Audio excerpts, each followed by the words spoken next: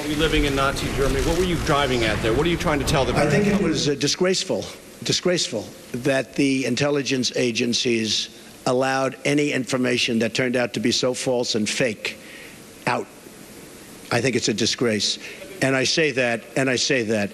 And that's something that Nazi Germany would have done and did do. I think it's a disgrace.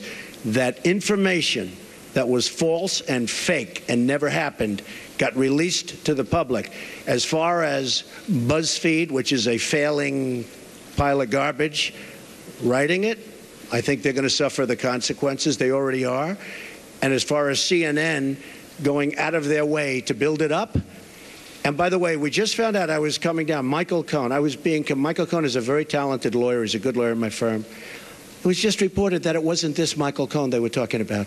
So all night long, it's Michael Cohen. I said, I want to see your passport. He brings his passport to my office. I say, hey, wait a minute. He didn't leave the country. He wasn't out of the country. They had Michael Cohen of the Trump Organization was in Prague. It turned out to be a different Michael Cohen. It's a disgrace what took place. It's a disgrace. And I think they ought to apologize to start with Michael Cohen. Go Since you're, no, Mr. President-elect, Mr. President-elect, since you are attacking No, our news not you. organization, can you. you give us a chance? Your You're you are attacking our news organization. Can you give us a chance to ask a question, sir? Sir, can you state, can, Mr. President-elect, can you state categorically, Mr. President-elect, can you give us a question? be You're rude. attacking us. Can you give us a question? Don't be rude. Can you no, give I'm us not a going to give you a question? question. Can I'm you- not going to give you a can you sta- question. can you state You categorically- are fake news. Sir, go ahead. can you state categorically that nobody...